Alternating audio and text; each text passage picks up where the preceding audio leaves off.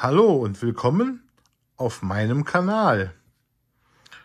Ja, ich bin ja schon einige Zeit hier auf YouTube und ich habe schon einmal ein Video gemacht über einen Lightsaber bzw. Lichtschwert.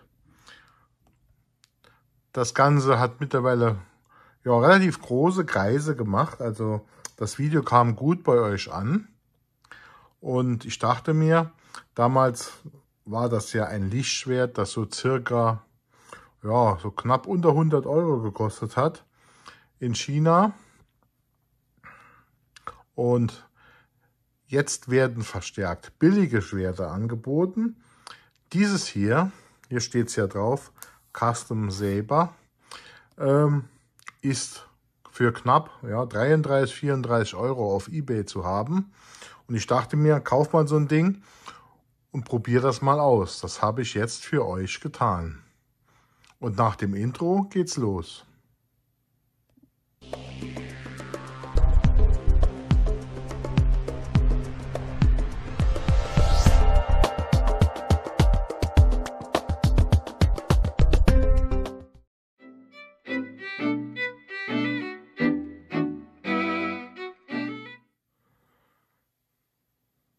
So, ich hatte es natürlich schon mal auf.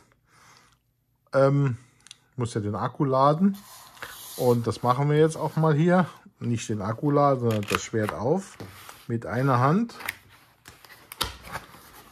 So, was ist, da, was ist drin in der Verpackung?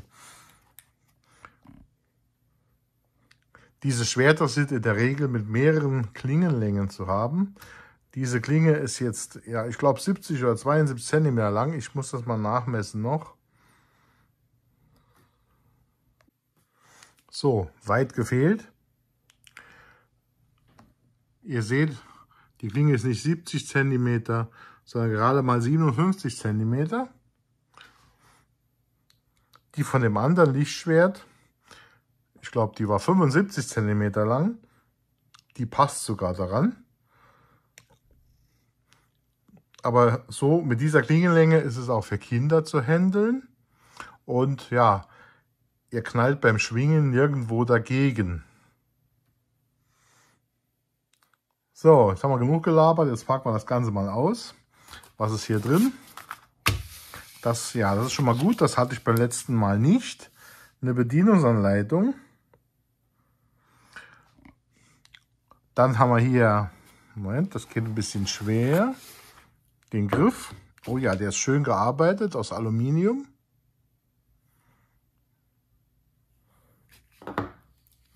Und noch, was noch? Hier ein USB-Ladekabel, also dieser Hohlstecker hier, auf ein ganz normales USB. Da drin ist ein austauschbarer Akku. Jetzt schauen wir uns den Griff mal etwas näher an. So, hier am Griff die Ladebuchse, ein Taster, der ist beleuchtet. Da vorne ist die LED. Es handelt sich um ein RGB-Lichtschwert, also mit einstellbaren Farben. Was haben wir da hinten? Da hinten ist der Lautsprecher. So, eigentlich schon alles. Kurz und knackig. Jetzt kommt es natürlich auch an, was hat das Ding so für Funktionen. Ich habe jetzt hier mal die Bedienungsanleitung, ist in Englisch. Gott sei Dank nicht in Chinesisch den technischen Daten. LED-Power ist 9 Watt. Es handelt sich um eine RGB-LED. Soundforce sind 3, wenn ich das hier richtig deute. Batterie 7,4 Wattstunden, 3,6 Volt, 1500 mAh. Totallänge je nach Klinge 77 bis 96 cm. Klingenmaterial, High Quality PC, Polycarbonat. Man kann also theoretisch auch damit kämpfen. Griffmaterial ist Aluminium. Ladespannung 5 Volt, klar, USB. Damit läuft das Schwert 1 bis 2 Stunden und nach 3 bis 4 Stunden Ladezeit ist es wieder einsatzfähig. Was kann man noch machen? Ah, dazu, hier ist noch so eine kleine Tüte drin. Da ist Werkzeug und Madenschrauben. Die Madenschrauben, die kommen Moment hier vorne. Ich weiß nicht, ob man es sehen kann. Hier sind zwei Löcher. Damit wird die Klinge fixiert. Kennt ihr ja bestimmt schon.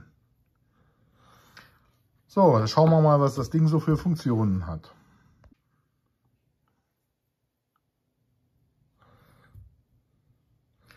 So, was kann das Ding? Funktionen. Ein- Ausschalten, klar. Zum Einschalten, wenn es ganz aus ist, hier drücken und festhalten. Ganz ausschalten, einfach sechsmal Knopf drücken im laufenden Betrieb. Dann geht es ganz aus oder einmal länger drücken, fürs auf Standby zu schalten. Das probieren wir jetzt mal. Also lange drücken. Aha. Funktioniert. Ihr seht da vorne.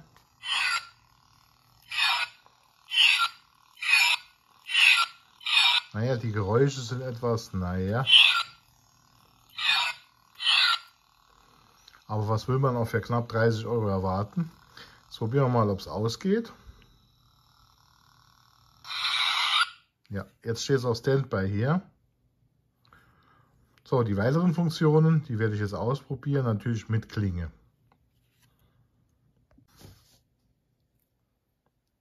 So, wir probieren jetzt mal die Funktionen aus. Was haben wir hier? Also schalte es erstmal ein. Ach, übrigens schaltet sich das Schwert auch nach einer gewissen Zeit vom Standby komplett aus. Aha, blau. Mal sehen, ob man die Farben wechseln kann und wie das geht. Ja, steht hier. Probieren wir das mal. Also, Moment. Zweimal drücken. Das ist übrigens schön hell beleuchtet. Natürlich am Fuß ein bisschen heller wie oben an der Spitze. Das haben ja diese RGBs fast alle. Das hat kein Neopixel, dafür kann man aber auch damit kämpfen. Also probieren wir mal. Aha, das Violett. Grün. Ah, jetzt wechselt sogar selbst die Farben. Lassen wir mal durchlaufen. Weiß, Rot, Blau wieder. Grün, Gelb. Das kommt über die Kamera nicht so gut. Das war ja schon das Problem beim letzten Lichtschwert. Ist auch relativ hell hier gerade. Aber wenn man dann drückt, bleibt es stehen. Aha. Das ist ein schönes Grün jetzt. Dann kann man den Ton ausstellen, viermal drücken. Ihr hört, es brummt jetzt.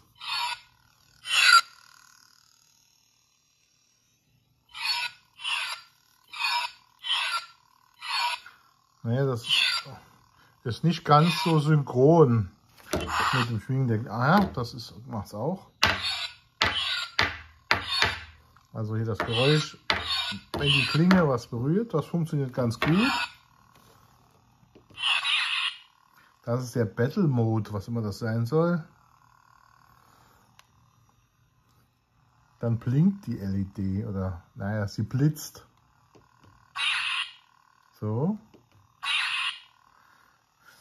So, und viermal für Ton aus. Also eins, zwei, drei, vier. Ah ja, jetzt ist der Ton aus und ihr hört, ich kann jetzt schwingen. Die nervigen Geräusche sind jetzt weg. Also funktioniert auch. Und das war es auch schon. Viel mehr Funktionen sind nicht vorhanden. Also zum Üben wird sich das Schwert eigentlich recht gut eignen. Es ist ziemlich robust. Die Klinge hier, ich zeige euch das gleich mal noch ein bisschen abgedunkelt hier. Es ist zu hell. Die Beleuchtung ist ganz gut. Farbwahl funktioniert auch. Naja, mit den Geräuschen, also zum selber üben, kann man den Ton ja ausschalten. Aber natürlich klar, das andere Schwert hat da mehr Möglichkeiten. Da war noch Musik mit drin und ja, Stimmen und alles mögliche. Ähm, aber erstes Mal hatte ich da keine Anleitung. Ich weiß bis heute nicht, wofür die ganzen Funktionen, wie man die schaltet. Hier ist eine schöne Anleitung dabei, das ist ein Pluspunkt. Ja, und zum Üben kleinere Kämpfe, oder ganz einfach, als Überraschung für den Kindergeburtstag für knapp über 30 Euro finde ich das okay. Auch die Verarbeitung der Klingen, diese hier ist jetzt schwarz. Man kann übrigens auch, wenn man zwei Schwerter kauft, die dann verbinden mit einem Verbindungsstück, das bei dem zweiten Schwert dann beiliegt und hat dann ein Doppelschwert. Auch nicht verkehrt. Die natürlich sich dann getrennt steuern lassen. Hat natürlich dann auch zwei Ein-Ausschalter. So, Laden funktioniert, das habe ich schon ausprobiert mit dem Kabel hier. Steht noch was von einer Warnung. Ah die LED, also die hier im, äh, im Schalter oder im Taster, die fängt dann an zu blinken, wenn der, die Batterie leer wird. So, und jetzt zeige ich euch mal das Schwert, wie es im Dunkeln aussieht. So, jetzt steht es auf grün. Ich schalte jetzt nochmal die Farben durch. Grün. Violett ist auch sehr schön und vor allen Dingen hell. Ihr seht, das Schwert leuchtet eigentlich relativ, relativ schön hell über die ganze Klinge. Das sieht jetzt auf dem Video wahrscheinlich nicht so aus. Gelb. Blau sieht auch sehr schön aus. Und Rot gefällt mir persönlich am besten. Waren Rot nicht die Schwerter der dunklen Seite? Schreibt es mal in die Kommentare. So, also wirklich ein schönes Schwert für wenig Geld. Ich bin positiv überrascht, äh, wenn ihr euch das Teil auch mal äh, kaufen wollt. Ich versuche mal den Verkäufer oder den Link zum Schwert auf der, äh, in der Bucht zu verlinken in der Beschreibung. Schaut einfach mal rein. Ansonsten findet ihr das ganz einfach, wenn ihr auf Ebay nur einfach die Suche Lichtschwert eingebt und da kommen Tausende. Achtet nur darauf, dass der Verkäufer aus Deutschland verschickt, denn wenn es euch nicht gefällt und ihr es mal zurückschicken wollt und müsst dann das Paket nach China schicken, bei der Summe lohnt sich das dann nicht. Übrigens, der Versand ging schnell, kam ja aus Deutschland. Ja, ich hatte es, glaube ich, montags bestellt und donnerstags war es bereits da, also nur zwei Tage gedauert. Trotz Poststreik. Also für den Preis, glaube ich, gibt es nichts Besseres. Gewöhnungsbedürftig sind die Geräusche. Ist auch nur ja, das Schwinggeräusch, das Kampfgeräusch und das ja, Pariergeräusch ist drauf. Und die Bedienung ist eigentlich relativ einfach. Steht ja in der Anleitung genau drin, wie es funktioniert. Und ich denke mal, damit wird eigentlich jeder zufrieden sein. Natürlich kein High-End-Produkt, das man sich zu Hause hinstellt oder an die Wand hängt. Aber dafür gibt es ja auch ähm, direkt aus den Filmen Schwerter mit Lizenz, die dann gleich ein paar hundert Euro kosten oder einige Modelle sogar ein paar tausend. Man merkt also hier deutlich, dass die LED-Technik doch Vorteile hat und auch Fortschritte gemacht hat. Und ich hätte ehrlich gesagt nicht gedacht, dass man sowas für knapp über 30 Euro schon bekommen kann. So, das war's jetzt in diesem Video. Ich hoffe, euch hat es gefallen. Schreibt mal fleißig Kommentare. Und wenn ihr das Schwert Interesse dran habt, ich verlinke es mal in der Beschreibung. Okay, bis dann auf diesem Kanal. Tschüss!